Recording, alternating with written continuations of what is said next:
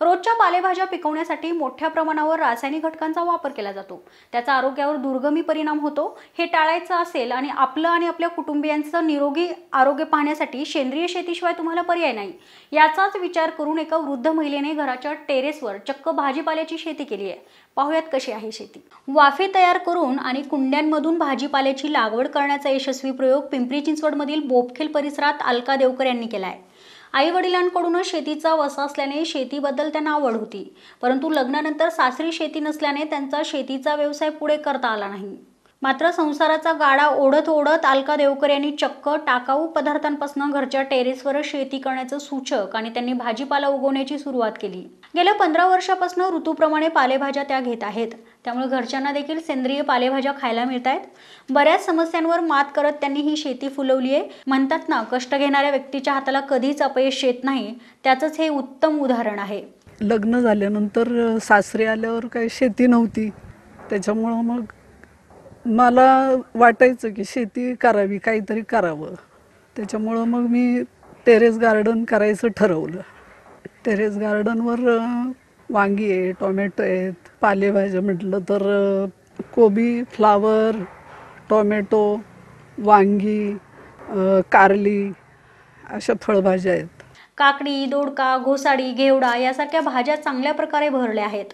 वाफ्यांची संख्या वाढली. मेथी चाकवत तांबडे पांढरे मुळे वांगी कोबी फ्लावर मिरची कोथिंबीर तोंडली पालक आले भेंडी आदी पालेभाज्या आणि फळभाज्यांचं उत्पादन सध्या त्या घेत आहेत. पालेभाज्या म्हटलं तर कांदा मुळा पालक शेपू वाटाणा कोथिंबीर. रहस्य काय नाही असं गेले होते का एका नर्सरीमध्ये. तिथं मला ते झाड दिसलं. घेतलं मी विकत ते आणि आणून लावलं. मोसंबीचं झाड एकदा पाहिलं नर्सरीत आणि ते आणलं मी. आणल्यानंतर ते टाकी होती माझ्याकडं फुटलेली पाण्याची. त्यात लावलं. म्हटलं बघू येतं आहे का? आणि लावलं. तर इतके छान फळं यायला लागले त्याला. अतिशय सुंदर फळं येतात त्याला. अलका देवकर यांच्या घरावरील ही बाग सध्या पिंपरी चिंचवड शहरात सध्या चर्चेचा विषय आहे.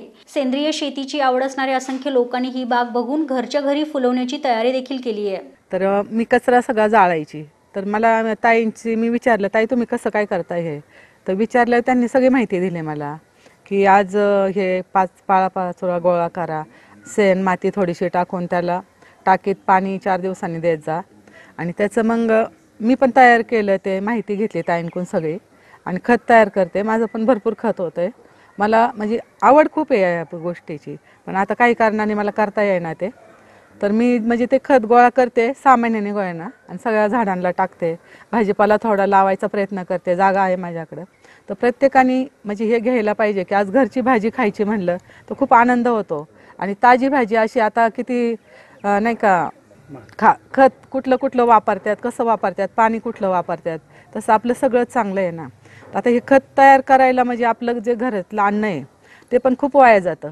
भाजीपाल्याचं निसलेली भाजी असते कोथिंबिरीची मेथी हे सगळं. तर सगळ्याचं म्हणजे थोडंसुद्धा काहीसुद्धा वाया जात नाही.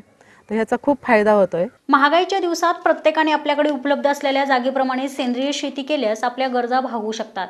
एक छंद जोपासला जातो तसंच पर्यावरणालाही मदत होते. संपूर्ण भाजी हा सेंद्रिय खतांचा वापर केल्याने आरोग्यदायी सुद्धा राहते. प्रतिनिधी मोहन दुबे दिनमान न्यूज पिंपरी चिंचवड.